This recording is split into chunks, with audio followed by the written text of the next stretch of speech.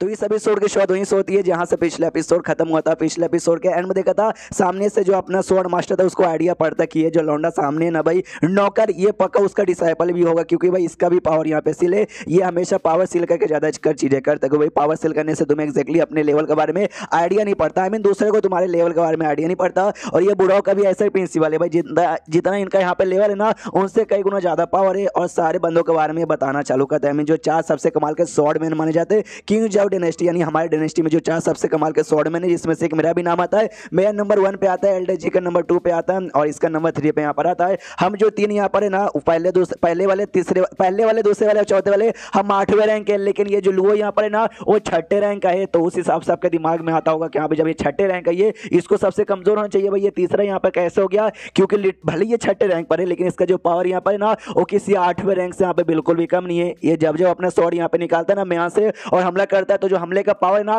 वो वाक्य में आठवें रैंक से भी यहाँ पे काफ़ी ज़्यादा स्ट्रॉन्ग हो जाता है। तभी तो भाई ये चार सौड़ में सौड़ मैन में से तीसरे नंबर के ऊपर यहाँ पर आता है। और जैसे गाउचे ने दस साल के अंदर भाई एक बार अपने सौड़ यहाँ पे चलाया, जिससे बहुत ही जोरदार हमला यहाँ पर हुआ था। वैसे इसने ना अपनी ज़िंदगी में लेकर टोटल है ना, नौ बार यहाँ पे अपना तलवार निकाल लिया। और शायद ज़िंदगी में एक बार और अपना तलवार यहाँ पे निकाल ले। और जब नौ बार निकाल के इसने चलाया तो हमेशा जो शॉर्ट इंटरनेट जो भी रिलीज़ होता है ना शॉर्ट सा हाँ तो भाई बहुत ही पावरफुल होता है। एक के बाद, एक के बाद हमेशा स्ट्रॉन्ग रिलीज़ होता गया। तो मुझे ऐसा लग रहा है कि हाँ भाई जो अगली बार जो आखिरी बार चलाएगा ना तो जो शॉर्ट इंटरनेट की जो पावर है ना पक्का यार, नौवे लेवल पे तो होगा, नौवे लेवल पे। जहाँ पे जाना मेरा सपना यहाँ पर है कि हाँ भाई नौवे लेवल पे जाऊँगा, बवाल मचाऊँगा, लेकिन भाई शायद मैं भी हासिल नहीं कर सकता हूँ। लेकिन ये अपने शॉर्ट की पावर से ना, शायद यहाँ पे हासिल कर सकते हैं। इसलिए भाई हम इसकी इतनी स्पीड करते हैं। ये तीसरे नंबर पर तो भी मैं इसको सीनियर यहाँ पे बुलाता हूँ। तो सामने से जो था भी लुओ वो कहता अच्छा ठीक है भाई तो मैं क्या बातें कर रहा था? गाउचे के बारे में ना बात बात पे भूल जाता हूँ। तूने बोला तेरा शॉर्ट का आई मीन तेरे सेट का मेंबर यहाँ पे नहीं है तो किसका सेट का मेंबर है? और तूने खुद बोला किसी सेट का मेंबर नहीं बल्कि किसी सेट का डिसाइपल है आई मीन लीडर है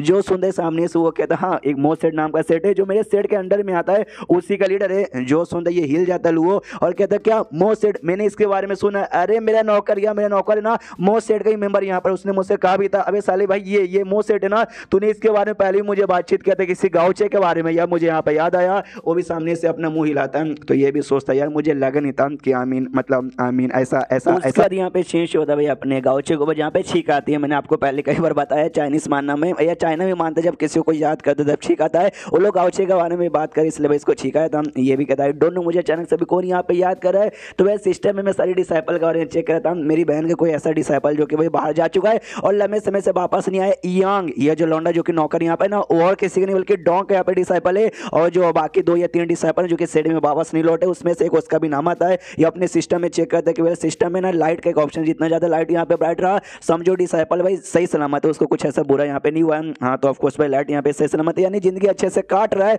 लेकिन जो नहीं एकदम अच्छे से काट रहा हो सकता है लौंडा दिखने में काफ़ी ज़्यादा ऐसा सुंदर है। लड़के जैसा लगता है, थोड़ा अट्रैक्टिव है। जी चक्कर में हो सकता है, बहुत लोग उसको परेशान भी करते होंगे। लेकिन साले को अब तक यहाँ पे वापस आ जाना चाहिए था। अभी तक यहाँ पे वापस काई को नहीं आया। अब आते भाई उनकी और जहाँ पे जो यंग नाम का ये डिसाइपल है, वो कहता भी है लुओ से कि हाँ सीनियर एग्जैक्टली और जो है ना भाई गाउचे वो मेरे सेट के यहाँ पे लीडर है। उनकी जो बहन यहाँ पर है ना डोंग मैं उनकी यहाँ पे डिसाइपल हूँ, जो सुनता ये बूढ़ा और भी सदमे में चल जाता कि अभी अभी ये स्वर्ण मास्टर ने मुझे बताया कि जो एल्डा जी है ना एल्डा जी ने डोंग को अपना डिसाइपल यहाँ पे बना लिया और इस बच्चे को भी मैंने अपने डिसाइपल यहाँ पे बना लिया है। और एल्डा एक सेकंड में इसका मतलब ये तो हो गया कि भाई मतलब मैं और जो डोंग ना, बराबर पोजीशन पे आ गया कि भाई, हमने खुद इस लौंडे को अपना ये डिसाइपल बना लिया है। और एल्डा जी ने डोंग का डिसाइपल बना लिया, यानी भाई देखा जाए तो वो जो एल्डा जी हुआ, वो मेरा यहाँ पे लगभग सीनियर कहलाएगा, मेरा मास्टर यहाँ पे कहलाएगा। क्या? अरे यार, उसको इमेजिनेशन भी आती है जब मालूम चलेगा ना, उसको कैसी ऐसी बात है वो मुझसे खुद कहेगा कि अभी साले बच्चे भाई, मास्टर मुझे बोला, मास्टर मुझे बोला। तो यही सोच के उसको गुस्सा आ जाते, कह रहे, यार, उसने अगर ऐसा बोला ना तो जो मेरा दसवा स्लैश है ना भाई, जो कि मेरा आखिरी स्लैश यहाँ पे होने वाला शॉर्ट का,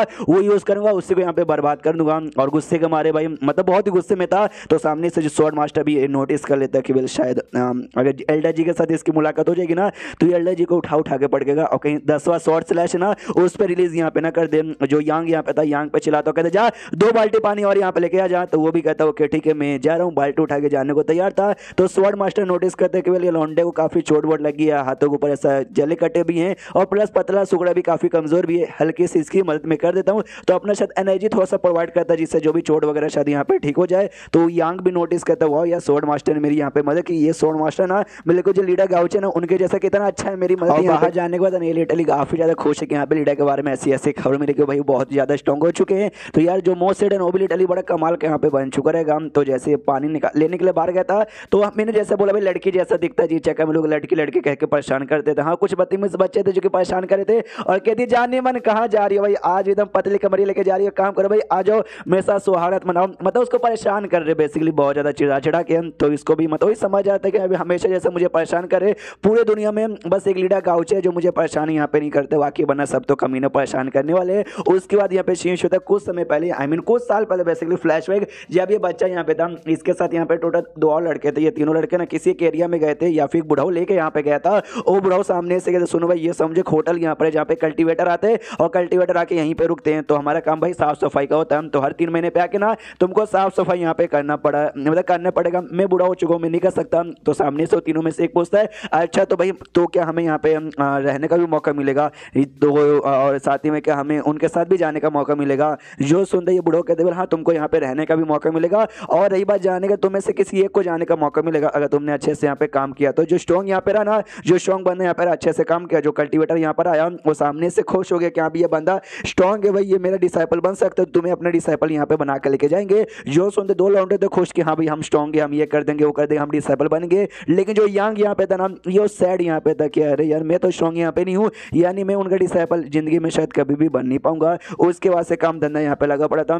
तीनों बच्चे मिलकर आराम से साफ़ सफ़ाई किए जा रहे थे कि लगा लड़के दो भाई। मैं उनका डिसाइपल बनूँगा, मैं डिसाइपल यहाँ पे बनूँगा। और तभी साफ़ सफ़ाई करते हुए एक चूहा बेसिकली यहाँ पे मरा हुआ था। जो देखते दोनों जो बंदे यहाँ पे, दोनों लड़के दोनों कहते, छी, यार बेकार, यार गंदा, यार चूहा यहाँ पे मरा हुआ है। मैं इसको नहीं फेंक सकता। हूँ पीछे से यहाँ को आइडिया पड़ जाता है कि, वेल यार, इनको ये सारा काम नहीं पसंद। इनको चूहा हुआ फेंकना मुझे भी नहीं पसंद। भी बड़ा गंदा काम यहाँ पर होता है। मैं भी यहाँ पे करना चाहता नहीं है। लेकिन कल्टिवेटर लोग यहाँ पर आएँगे, जब यहाँ पे चूहा मरा हुआ रहेंगे, नाराज़ हो जाएँगे, कहीं मार मार के हमें यहाँ पे चलना जाए। क्या करे आपको समझ नहीं आ रहा। वो दोनों बंदे कहते हैं शिट भाई, बड़ा गंदा यार, मुझे बिल्कुल भी उठाने का मन नहीं है, लेकिन नहीं उठाएँगे तो कल्टिवेटर नाराज़ हो जाएँगे। क्या करे क्या करे क्या करे? ये सामने, पीछे से जो यांग था ना, उसके भी माइंड में आइडिया था कि आप भी नाराज़ हो जाएँगे तो भाई इनके साथ मेरे ऊपर भी मुसीबत आ जाएगी। तो मैं खुद यहाँ पे जाता हूँ, खुद आगे यहाँ पे जाता हूँ, और कहते कि रहने दो भाई, सामने से मैं इसको उठा कर फेंकता हूँ। दोनों बच्चे कहते सची में तुम कर लोगे? सामने से ये भी कहता फोर्स में यहाँ पे कर लूँगा। तो नाक बाग अपना सब मतलब नाक अपना कवर करके चूहे को बाहर ले जाके ऐसा फेंकने के लिए भागता हूँ। पीछे से दोनों बंदे हँसते के देखो भाई कितना गंदा काम कर रहा है, चूहा उठाने वाला है।